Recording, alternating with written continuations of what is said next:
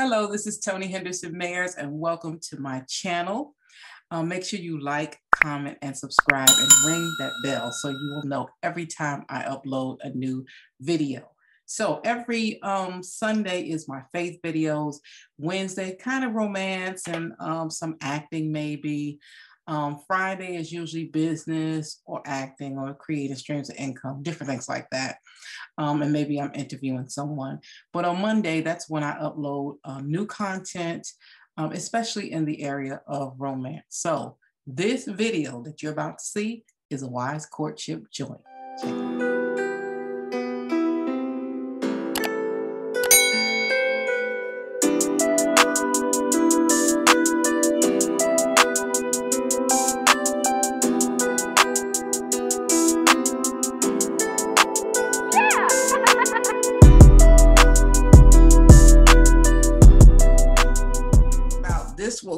Your relationship. So what we try to do for um, for everybody who's new, what we try to do is I try to do like maybe a 10, 15 minute little presentation and then we'll go into Q&A, okay? Okay. Mm-hmm. All right. So I want to talk about some of the main things that will kill your relationship. This is not all of them, but this is some of the main things, all right? We're going to keep it very simple today because there's a lot to kind of think about uh, in, in this regard. So the first thing is God. Okay. Mm. Like, how can God kill my relationship? but I want to explain this a little bit further. One is that you, if you don't ask God for direction, it's going to kill your relationship. And a lot of people make this mistake. Okay. People who um, don't believe in Him and people who do believe in Him. Um, it's so important to get direction. Okay so that you would yeah. be focused. That's like anything you do in life, okay? You have to have some sort of direction on where you're going. All right, we get direction through prayer. That's number one. All right. Mm-hmm. The other thing um, that will kill our relationship in regards to God, if we're not praying and asking for direction, um, one of the reasons why we don't do it is because we really don't trust Him. But the truth yeah. of the matter is, He knows what's best. Yes. And you know, church and stuff, you know, we we know that oh God, you know, hallelujah, we raise hands, we do all of that stuff, and that's wonderful. We should do that, but it should somehow trickle down into our everyday life. And so, even though uh, this the, the things that I'm going to talk about today is really basic, it's still really profound. Okay, if you grasp that concept, concept, and He knows what's best. He knows the beginning, the middle, the end. He knows you better than you know yourself. He knows the person that you're about to connect with. He knows the right timing. He knows how, uh, you know, your proclivities. He knows their idiosyncrasies. he knows mm-hmm. everything. So you want to connect to the power source. It's just like we do with our career. If we know someone knows, then we go and we sit up under their teaching or their wisdom, we have to do that with God. He knows what's best for us. Yes. All right. The other thing about God, this will kill your relationship if you don't get this concept in your head. He wants you to be happy. Yes, yes. so many yes, people yes. think that, you know, God is about rules and regulations and oh my gosh, he doesn't want me to be happy. He wants me to marry a holy man, which means he's going to He's gonna be overweight. He's gonna be bald. Yeah, yeah, yeah, yeah. You know, and we just equate all of that, you know, with if, if it's holy, it's ugly. If it's holy, it's not something. Mm. And um, I'm so, sorry to interrupt you too, but there are persons who will preach that to say, yeah. um, okay, he is godly, but I'm honestly not attracted to him. I honestly can't have a, a, a good conversation outside of um, us being connected to God, and which is very important, as you said. But I'm just not attracted to him. He yeah. probably, even financially, he is not responsible financially. And persons will say, "Oh, this is the will of God," which is not necessarily so. Mm-hmm. Absolutely so, right. Can hello, darling. We got somebody else new here. Good to see you. We just got started, and I will greet you even more appropriately. Um, we do a, like about a 10 minute presentation, and then we open it up for Q&A. Um, while we're doing that, if you're really proficient in um, Zoom, Um, in the chat area is a link for you to click and scroll down and put your email in the box uh, next to sign me up. And that's a way for me to stay connected with you, okay? Um, because sometimes we we don't have a meeting and I want to make sure you know. Okay, so these are the things that will kill our relationship. Okay, the number one, God. We don't ask God for direction. Okay, mm-hmm. you don't do that. You are you are bound to mess up. Okay, unless you He just showed extra mercy on you and said, "Look at this person. They so silly and they don't know. I'm gonna help them out." Okay, mm-hmm. and unless He does that, we also mess up because uh, we don't realize He knows what's best. He knows us. He knows us better than we know ourselves, okay? Mm-hmm. And the last thing we talked about before this beautiful young lady came in, we said he wants you to be happy. We tend to think holiness means he's going to be ugly. He's going to be, you know, he's holy, but I'm not attracted to him. He's holy, but he's ugly. He's holy, but he's overweight. We're like, no, God wants you to be happy. He knows what's going to make you happy. He knows what you're attracted to. All right. So that is the groundwork that we need to have when we um, connect with other people. Um, if not, if we don't have that concept about God going in, we could kill the relationship before it starts. All right, let's go to the next one. The other thing is self. That self can kill your relationship. How? Well, one thing, how do you feel about yourself? I see a lot of people in wonderful relationships have a wonderful person with them, but they kill the relationship because of low self esteem. Mm-hmm. They believe they're ugly or whatever, and no matter how many times the man tells them they're beautiful, you know they play into that past um, record that was put in their head when they were a child or from the last abusive relationship maybe mm-hmm. you know they bring that over into the relationship we have to do the work, guys. We got to do our self work. When I was traveling talking about wise courtship, I wrote the book Wise Courtship. Here it is right here. I wrote the book Wise Courtship from the premise that you were ready to get married. That's how I wrote the, the book. But when I began to travel and tour, do the radio shows and television and all that stuff, I found out that some people um, they weren't ready because of their own self. Their self was getting in the way. All right. So, how do you feel about yourself? You know, most women have a ton of things they don't like about their body and their face and their hair and all of that. they got a ton of things. You know, I know that we want to improve ourselves, but can we honestly look in the mirror and look at ourselves and say, I like what God made. Yeah. I'm satisfied. He mm, didn't yeah. make a mistake. I'm beautiful. I don't yeah. have to look like Barbie. I don't have to be blonde. I don't have to have blue eyes. I don't have to have that same shape as the Barbie doll. I am beautiful the way God made me. It's mm-hmm. important. Okay. So self can kill your relationship. Also, have you unpacked your baggage? Woohoo! Okay. what are the things you are carrying? Ugh. Some of us are carrying more things than others. Some of us really believe all men are dogs, but we'll still try to date them. We'll still try to sleep. I'm usually like, okay, really?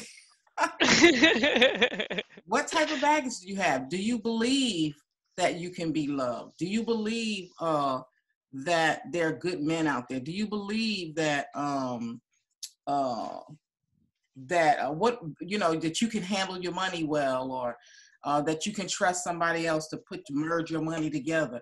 You know, a lot of times when people have issues with money, it's coming from some sort of baggage that has yeah. not been resolved. Okay, so there's a lot. I probably will go into a series about are you ready for a relationship emotionally, financially, spiritually, all of those types of things. We'll break that down. All right. So have you unpacked your baggage? Because you bringing baggage and him bringing baggage is just going to make a whole room full of baggage. it's going to be a problem. Okay. And I have a, I have a yes, question. Mm-hmm. Where were you eight years ago? Just say. the Lord was preparing me. Well, wait a minute. 8 years ago, my God, I was um I was fighting with the Lord like, right, I'm not a writer, I'm a speaker. so that's what happens when you're not obedient, honey. That's true. Wow. Finally knocked down everything and said, okay, you're gonna write this. Mm-hmm. Um, are you improving yourself? Mm. This is another way people can kill their relationship, okay, by not improving themselves. You just stay mm-hmm. stagnant where you are. You don't want to learn, you don't want to grow, you don't want to go out and meet people, you don't want to, you know, try new things. You know what I'm saying? You don't want to open up. One of the most profound things my mother told me when I was praying and believing God for a husband, and I said to her, I said, you know, I always thought I was going to marry one of the guys I grew up with. You know, I was a tomboy, so I thought I was going to, you know, marry one of the guys I grew up. But they became my brothers. You know, and I said to my mother, I don't know what to do. And she said, change your circles. Mm-hmm. as simple as that sounds, that mm-hmm. was very profound because a lot of times we're stuck in the same thing. We go to work, church, come home. Go to work, church, come home. Go to work, church, come home. You got to open up your circles. Mm-hmm. So are you improving yourself? Are you learning? Are you growing? Are you, you know, are you headed toward where God is leading you? Do all of those things. You're not too old to do it. You're not too young. You're not too black. You're not too female. You still can be improving yourself. You still can be mm-hmm. learning more about yourself. And this may not be just formal education. Okay. This may be, you know what? I get I get an attitude easy. You know, I need to work on that. You know what I'm saying? Or I need to, you know, improve my posture. I need to walk with a little bit more grace. I need to know how to dress, whatever, you know, mm-hmm. anything. Mm-hmm. You want to check yourself out and make sure you're not the one killing your relationship before it even gets mm-hmm. started. Yeah. Mm-hmm. It's good. Okay. We're really getting toward the end here because this is the third step, and then we got a bonus one, and then we're gonna open this up for some Q and A. Okay have you planned? Most people will kill their relationship because they won't plan. Are you preparing to recognize the right one? And you see the little wise courtship book down here at the bottom because you know that's what we're all about. Do you prepare yourself to recognize the person when they come? God could send you 50 great men. Mm-hmm. Yes. You'll never recognize them if you do not have the right training and you have not prepared yourself. They can slip right through your fingers. You won't even see them. Oh, he's so boring. you know, you would rather have the guy with the dagger, right? and, um, you won't recognize wow. what God has for you. Yeah. So you got to prepare to recognize. Mm-hmm. All right. Do you have a strategy for weeding out prospects? Sounds like we in sales, but it's almost close. mm-hmm. You got to be able to weed out them prospects. I didn't see an ugly woman come on this broadcast. I didn't see not an ugly woman. That's right. So that means we're gonna have a lot of prospects. That means a lot of people looking like, mm, who that? Really? Damn. Yes, ma'am. And the more you stick with us, and the more you use the what I call a wise courtship philosophy, put these steps into practice, uh-huh. You want to start attracting people. Okay. So, do you have a strategy for weeding them out? Because what happens very often, if you didn't deal with yourself, okay, your self esteem issues, your self worth issues, all that stuff, baggage, whatever, when somebody comes along, it's like, and it's the first person, and you just kind of go with the first person. You're just so thrilled anybody likes you. Mm-hmm. Yes, yes, yes. You know that you are a, a, wonderful person, not in a conceited way, not in a conceited way, but you know that hey i'm a decent person you know i love yes. god mm-hmm. I'm, I'm interested i've got these different talents you know what you bring to the table then you're not you know too shocked when somebody thinks you're great mm-hmm. okay and so you can begin to weed out who's real and who's fake okay because the bible teaches us about flattering tongues anybody can flatter you that why are they flattering you? Is it coming from mm-hmm. a genuine heart or is it coming from a, a, person who's trying to get you to bed? Or who's trying to you know kind of bind you down from what when they see you accelerating or moving ahead? Well i'm you know let me get with her and give her about five babies and she won't go nowhere. I hope i can stop playing or just put you in bondage if you're out of of the flowering age. That's right. Exactly. Mm-hmm. Absolutely. or do they want my mother and I we say this my mother's 79 and uh, mm-hmm. she's been a widow since she was 44 she just chose not to wow um and oh. so i say to her i say he just want a nurse yeah you get all this flattery and it's because it's something behind it you have to be yes. really good at weeding out things and that's what wise yes. is all about and the last one in planning, what are your uh, must haves and your must nots? Mm-hmm. I'm not talking about that list that he got to be tall, he must be six feet, and he got to make at least 200,000 a year, and he's got to walk a certain way. I'm not talking about that. okay? That's cute, but it's silly. All right. Yes, yes, truth, truth, truth. This is not gonna work.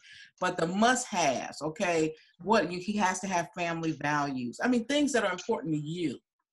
What what is really important to you? When you turn off the lights at night and you crawl into the bed, what is really important to you? When you all by yourself, you want somebody to love you for you. Yeah. Some of you, your faith is extremely important. Your family yes. is extremely important. So you you got to know your must-haves, and then you got to know your must-nots. Okay. You're like, mm-hmm. no, he just can't be hitting me. That may be your must not. I know that's my mother. He just cannot try to hit yeah, me. He cannot call me out my name. Mm-hmm. You gotta have that list mm-hmm. that has full meaning, and you gotta plan. All of this is about planning. Most mm-hmm. people kill their relationships because they don't plan. They kill yes. it because they don't consult God. They kill it because they don't consult what's what's going. They can't don't confront what's going on with themselves, and they kill it because they don't plan. Mm-hmm. And the bonus one, I already got a hint there. The bonus one is faith. All right. You have mm. to believe to receive. Yes. I did a, a, workshop called, well, actually a talk called um, being single, saved, and satisfied. And I was talking about how that that that that mantra, sometimes we don't think about what it's saying. There's nothing wrong with it in general, but if that's not your belief that I'm, you know, I'm single, saved, and, and satisfied, then you shouldn't be saying it. Some people that is their belief, right? But if you believe in God for something more, then you got to you can't say, well, you know, I'm 72 and it never happened. Well, I guess I'm just gonna go ahead and live my life the way, you know, as a single person. No, you believe in God for something else. I'm sure Sarah, you know, she was past the age of having children. Mm-hmm. And, you know, she didn't say, oh, well, that's it. At some point, she had to say, you know what? I'm going to believe God. I'm going to believe yes. this is going to happen. Mm-hmm. This is going to happen to me. Now, you got to think about that. That's ridiculous. You talking mm-hmm. about a mm-hmm. woman way in age, believing God to have a baby? Yeah. Far, okay. But that's the kind of faith you have to have because people will tell you, oh, it's not going to happen for you. Or all the things that you believe in God for in your heart that it's not going to happen. But you got to have the faith. If you don't have the faith, you killed the relationship before it started. Yeah. So, my dear ones, you know what time. Thanks a lot for watching my video. Don't forget to like, comment, and subscribe. And I'm going to try to upload videos as much as possible. So make sure you subscribe and ring that notification bell. Take care. Are you subscribed to the Wise Courtship Philosophy? Then you need to get your Wise Courtship gear at the Wise Courtship store. Go to bit.ly forward slash Wise Courtship store. All the letters are lowercase. They make amazing gifts from children, adults, men and women, jewelry, hats, cell phone cases, t shirts, and more. Represent Wise Courtship by going to bit.ly forward slash Wise Courtship Store.